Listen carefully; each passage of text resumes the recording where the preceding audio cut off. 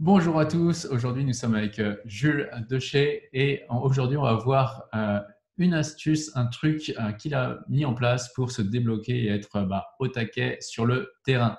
Donc bonjour Jules. Bonjour, bonjour à tous.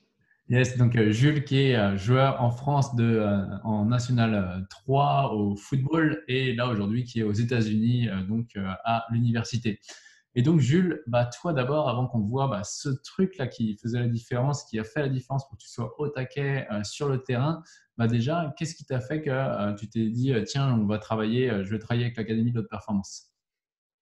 Bah alors j'étais gardien de but de football en France et je rencontrais sur le terrain un peu des, des problèmes de confiance. J'étais pas toujours toujours toujours très à l'aise. J'avais du mal à, à prendre des idées, ouais, des initiatives. J'avais un petit peu de mal à, à me faire confiance et euh, à me libérer un petit peu de, de ce que pouvait penser mon coach quand je jouais ou de ce que pouvaient penser mes, mes coéquipiers. Euh, voilà, ça me faisait un peu hésiter, euh, mais j'ai toujours eu le rêve, le rêve de devenir footballeur professionnel. Et puis, je cherchais un peu comment. Je sentais que j'avais surtout des blocages plus mentaux que, que sportifs euh, sur le terrain. Et donc, je cherchais euh, quelqu'un avec qui travailler pour, euh, pour essayer d'identifier un petit peu les, les, blocages et de, de trouver des, des, solutions pour, pour, pour les dépasser. Et donc, c'est comme ça que je suis tombé, je suis tombé sur Instagram, sur l'Académie de la haute performance. Et du coup, j'ai contacté Pierre. On a fait un, rendez-vous, le premier rendez-vous qui était gratuit pour parler un petit peu du, programme. Et puis, euh, puis voilà, c'est comme ça que, que je suis rentré dans le projet. Et, justement, pourquoi euh, ce projet-là plutôt que, bah, qu'une autre, qu'un autre préparateur mental? Pourquoi, pourquoi avec l'académie? Bah, C'est justement, j'ai travaillé avec un préparateur mental avant et ça m'avait fait du bien au début. Je, je, progressais avec lui au début. Et après, au bout de deux ans, un petit peu moins, je sentais moins de changement, je sentais moins de, ouais, ça, je sentais que ça me faisait pas autant avancer que ce que je voulais, et euh, je cherchais quelque chose de différent, quelque chose, enfin pas un, autre préparateur mental qui avait un peu les mêmes méthodes, je cherchais quelque chose de plus précis, et euh, j'ai senti en parlant avec Pierre que le, le, programme de l'Académie de la haute performance avait des, abordait des thèmes dans lesquels je me reconnaissais. Et euh, c'est ce qui a fait que j'ai senti qu'il fallait que, que je prenne le programme pour, euh, pour travailler dessus. Ok, et du coup, bah, alors euh, au niveau de, de, ces choses qui ont changé pour toi, et, après tu vas nous dire ce qui a changé, et ensuite bah, comment ça a changé, le conseil que tu pourrais donner aux, gens qui, qui, regardent cette vidéo. Donc, qu'est-ce qui a changé pour toi depuis, depuis ce programme? Bah, je dirais qu'il y a une chose principale qui a changé, c'est que j'ai réussi. Euh, enfin, je me sens mieux sur le terrain parce que je fais moins attention, beaucoup moins attention à ce que, à ce que peuvent penser euh, mon coach ou mes coéquipiers quand je joue. Euh, j'avais beaucoup l'impression avant de devoir un peu prouver que je pouvais être bon, que je pouvais avoir ma place, parce que j'ai rarement été dans les bons clubs dans lesquels j'ai joué, j'ai rarement été le premier choix, donc j'ai toujours dû euh, essayer de me battre pour être un peu euh, le gardien numéro un. Et euh, j'ai beaucoup eu l'impression de devoir prouver et de ne pas avoir le droit à l'erreur. Hmm. Et, et, forcément, je ne pouvais pas jouer toute une carrière sans faire d'erreur, donc je, continuais à en faire. Et donc, je pouvais accumuler un peu de frustration. C'était un peu une sorte de cercle vicieux. Et aujourd'hui, j'arrive beaucoup plus à jouer pour moi, mais pour l'équipe. C'est-à-dire que j'arrive à, me libérer, à jouer beaucoup plus libéré, beaucoup plus relâché. Ça me permet d'être déjà plus concentré et ça me permet d'être meilleur. Et au final, les personnes qui en bénéficient le plus, c'est l'équipe parce que ça me permet d'être bon et, ça permet à l'équipe d'avoir de, bons résultats.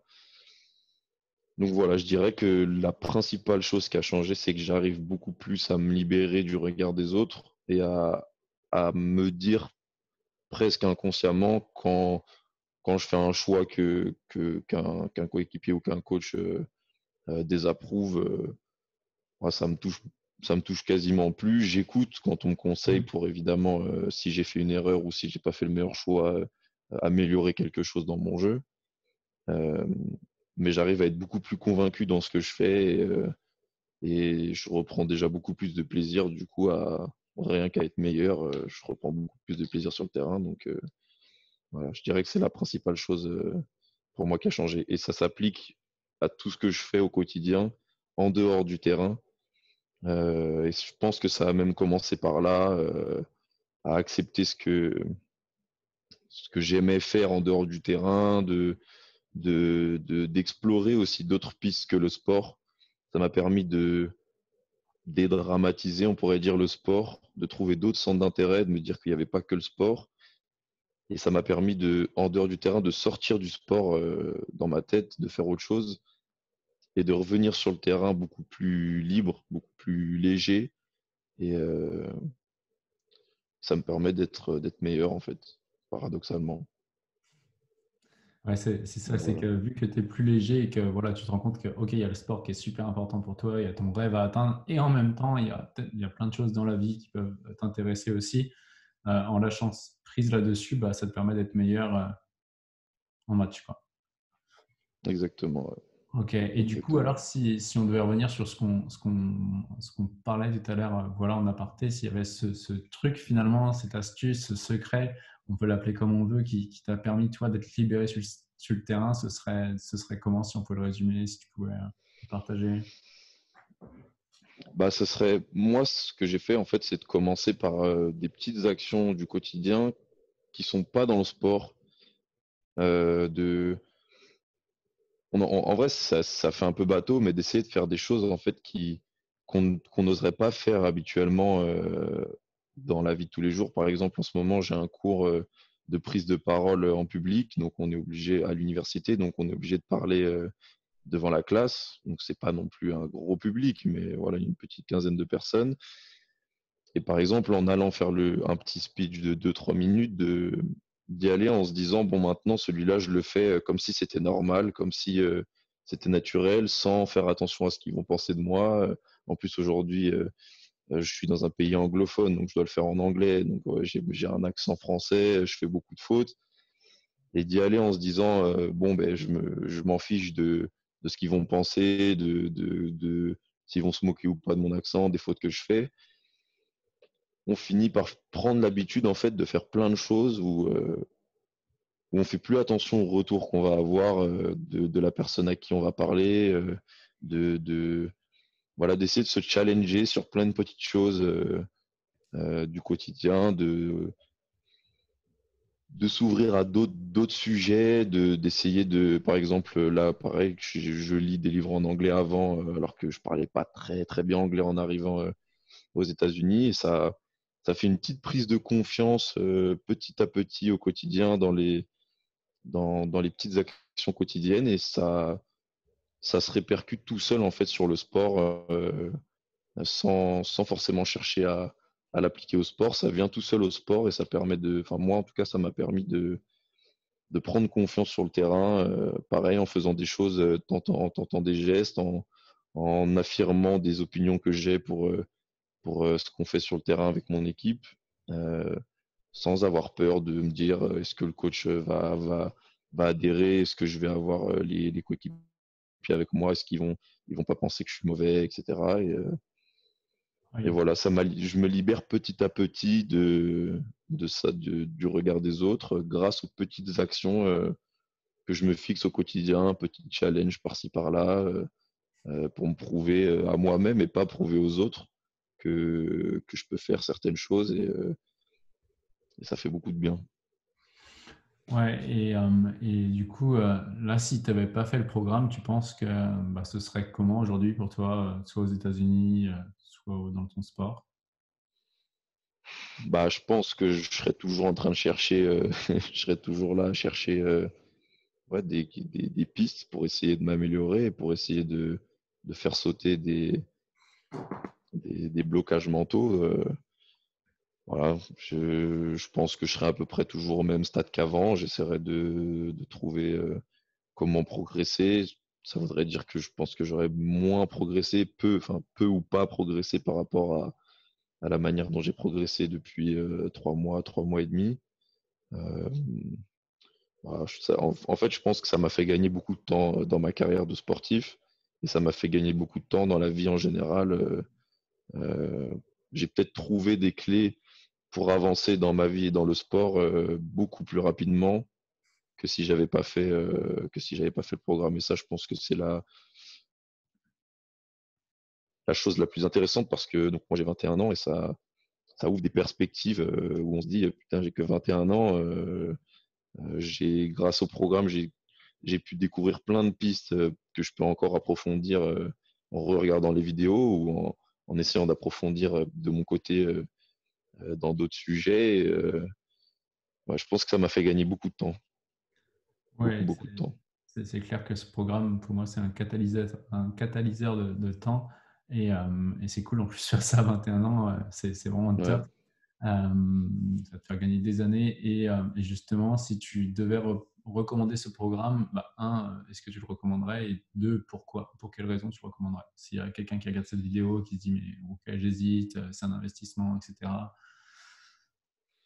Bah, alors déjà, oui, c'est sûr, que, c'est sûr que je le recommanderais parce que ça m'a fait avancer, donc je pourrais que, que le recommander.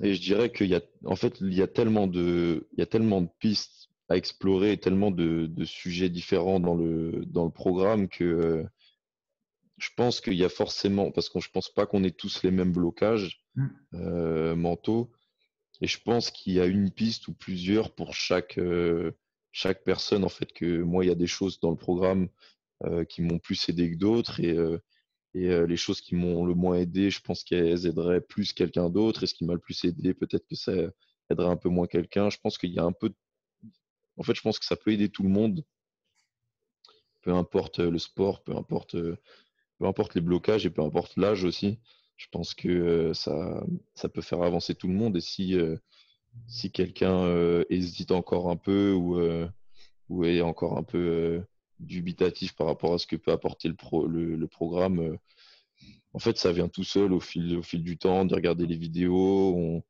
et de parler avec Pierre dans les coachings ou aussi dans les coachings de groupe. On, commence à naturellement acquérir la vision des choses un peu du programme et puis les choses se mettent en place petit à petit et au final il y a, une base assez solide qui se construit euh, et puis ouais, je pense que ça peut faire progresser euh, n'importe qui même même des grands sportifs aujourd'hui euh, je pense que ça peut en faire avancer je pense que tout le monde peut progresser avec avec ce programme c'est clair que des, sportifs enfin Aujourd'hui, dans, le programme, on a des sportifs d'un niveau départemental comme des sportifs d'un niveau olympique. Et c'est vrai que même à ce niveau-là, bah, les gars euh, ou les filles euh, ont, des, paf, ont des switches et, vont chercher les millimètres qui leur manquaient pour euh, vraiment performer et bah, se libérer totalement. Quoi.